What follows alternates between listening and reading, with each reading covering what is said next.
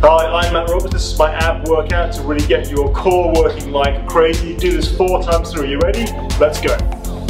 First exercise, the full reverse curl. Great work in the core. Lie flat on your back, legs stretched above you in the air. Keep the knees really straight. Drop those legs right out and really feel the core working hard. Go for it. 15 to 20 reps. Next up, side plank rotation. Rest the elbow and foot big shoulder turn the way down and touch the floor with the elbow there right back towards the start move again, go for it, 15 to 20 reps. Russian twists next, this is a really good old school exercise. Pushing really hard, pivot on the butt, turn the shoulder, touch the floor with the hands, go for it, 15 to 20 reps. Side plank raises, never staying still in a plank position, moving like crazy up and down, their hip towards the floor, high towards the ceiling, really engage, 15 20 of these push.